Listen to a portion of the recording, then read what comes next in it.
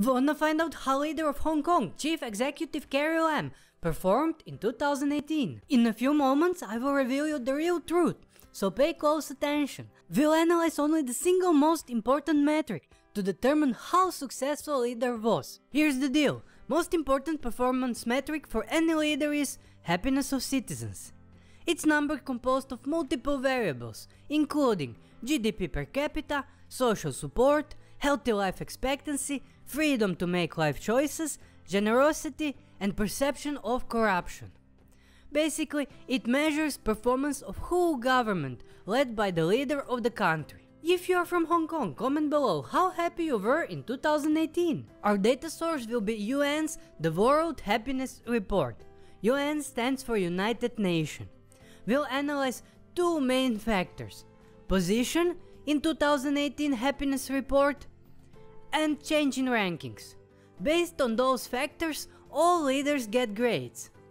Grades are phenomenal, which is the best, amazing, excellent, great, good, then fair, which is neutral, mediocre, poor, bad, awful, and abysmal, which is the worst. If country dropped ranking from last year, leader can't get positive grade. Is that clear? And now, are you ready? Leader of Hong Kong, Chief Executive Carrie Lam, in 2018 performed, drumroll, wait for it, poor. You can best visualize it by seeing how high this red arrow is. And now, few numbers. Her score was minus 456 and she ranked 97th among all leaders. Hong Kong was ranked 75th in 2017, which is in the middle, and in 2018 they dropped one place to 76th place. So as you can see, it's poor job. Your leader is making you more unhappy.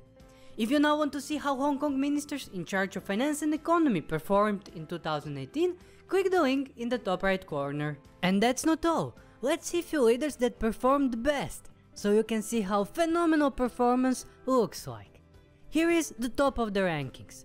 Rank number 1 was leader from Benin, Patrice Talon, president of Benin. He did phenomenal job and Benin recorded jump of 33 places in the rankings. Awesome! Rank number 2 was leader from Kosovo, Ramush Haradinaj, Prime Minister of Kosovo. Phenomenal job, Kosovo jumped 90 places in the rankings. Rank number 3 was leader from Italy, Giuseppe Conte, President of the Council of Ministers of Italy.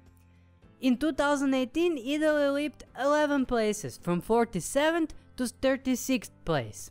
Now, before you go and watch next video, remember to subscribe and click bell icon so you don't miss new 2019 rankings.